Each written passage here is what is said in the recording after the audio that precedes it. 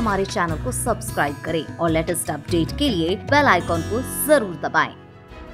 वीरवार को झज्जर के गाँव, साल्हावास थाना के अंतर्गत आने वाले गाँव सासरौली के रेलवे फाटक के पास बाइक सवार पर माँ बेटी को अज्ञात वाहन के कुचले जाने से मौत हो गई, जबकि बाइक चला रहा महिला का बेटा गंभीर रूप से घायल हो गया उसे उपचार के लिए झज्जर के नागरिक अस्पताल लाया गया,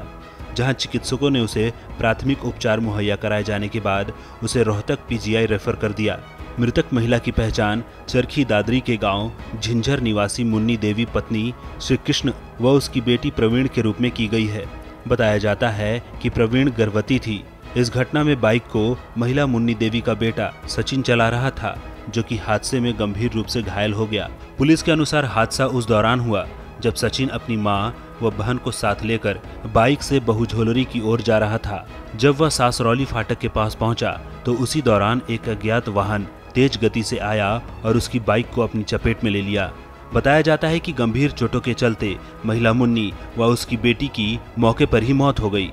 इस मामले में पुलिस ने अज्ञात वाहन चालक के खिलाफ लापरवाही से गाड़ी चलाने का मामला दर्ज कर लिया है। झज्जर के नागरिक अस्पताल में पुलिस द्वारा माँ बेटी का पोस्टमार्टम कराया जा रहा है। सूचना देवी मुन्नी देवी वाइफ श्री कृष्ण, कोम ब्राह्मण वासी झिंझर व परवीन वाइफ परवीन वाइफ है ईश्वरदत्त गाँव बेरोड व सचिन सन्नो श्री कृष्ण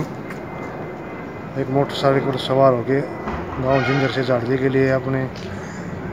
कोई दवाई लेने के लिए जा रहे थे सासुली और झाड़ली के बीच पूछे तो कोई नाम पता नाम है व्हीकल सीधी टक्कर में एक्सीडेंट किया जिससे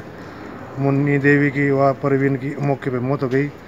सचिन कुमार तक पीजे रेफर किया गया Thanks फॉर वॉचिंग video.